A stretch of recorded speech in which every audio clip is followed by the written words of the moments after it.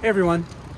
So just over my shoulder that way is the location of what was once the most controversial back alley in my city.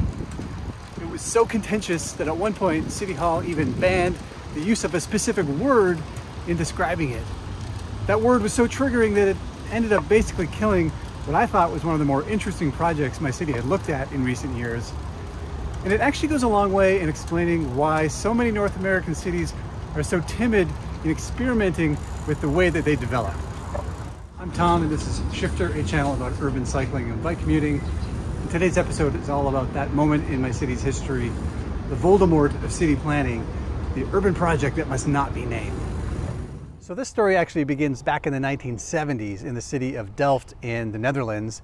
And as uh, recounted in the great book Curbing Traffic by Melissa and Chris Bruntlett, which you should totally read, there was a particular street in a particular neighborhood in this city where the residents just got tired of cars taking over their residential street. And so they decided to do something about it. In an act of civil disobedience, they kind of blocked the street off from cars.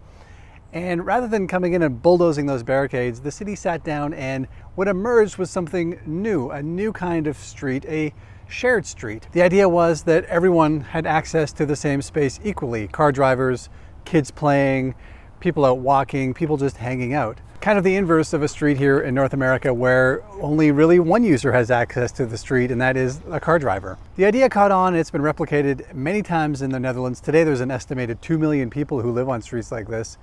And they've taken on different forms. Sometimes there are barriers in the street, so car drivers have to sort of weave very slowly around. Sometimes there's a, a clear extra entrance and an exit for a car driver so they know they're entering one of these spaces. But the basic idea is the same that a space should be shared and that people should communicate with each other to, in order to navigate this space. The idea has caught on a little bit in other places. In the UK, sometimes they're called home streets. In North America, occasionally you hear them referred to as complete streets. But most people these days know them by the Dutch word, and that is Woonerf, or a living street, a shared space. Did I pronounce that right? Woonerf? Close enough. Which brings us back to my city of Calgary, and this humble back alley I mentioned earlier. So back in the 2010s, City Hall had some money to try some new things, and someone had the idea of turning this humble space into a shared space, a, a Woonerf. Great idea, right? Especially for a pilot project. Well, not so fast. After about four years of some sometimes crazy debate, in which uh, the, the city councilor of the region said he was horrified by the whole process, the idea was killed what happened was this project became politicized and a group of locals who thought this fancy European fancy pants idea was a waste of money got opposed to it and that was sort of the end of it. It was a bit of your typical NIMBY debate but with a bit of like Eurocentric elitism thrown into the conversation as well.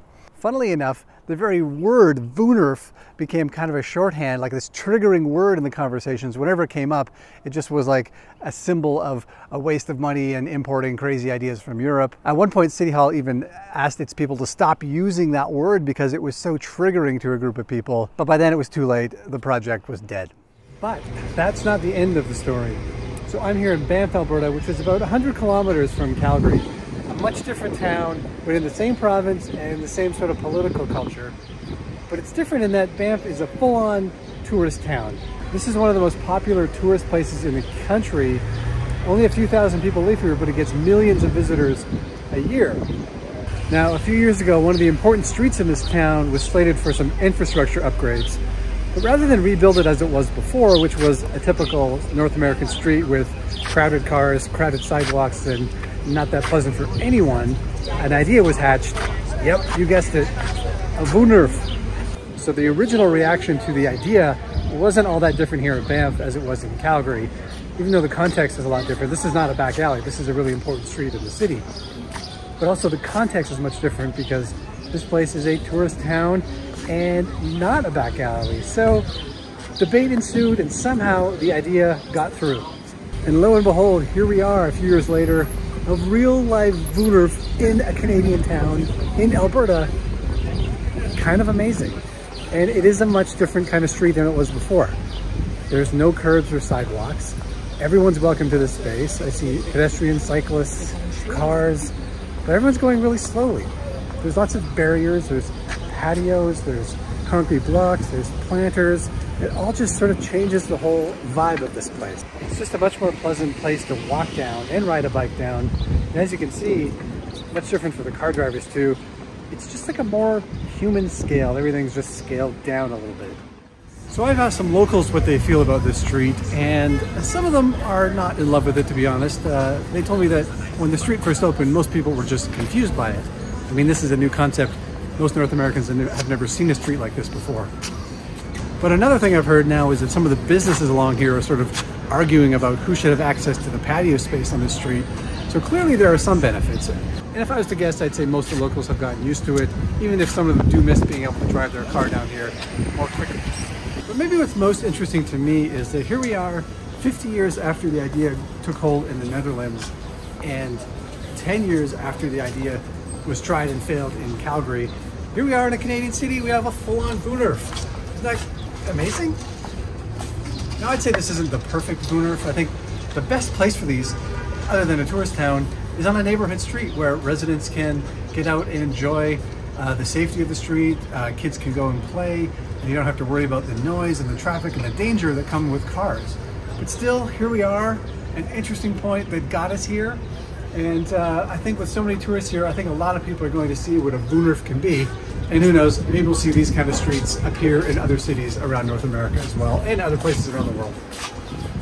Thanks for watching. See you next time. Oh, before I go, a quick shout out to all these amazing people who contributed to the health of this channel via Super Thanks. I appreciate the support from all of you. It really means a lot. And if you're interested in helping support this channel, please look for the thanks button right below this video you're watching right now. Thank you, everyone. It really means a lot to see your support.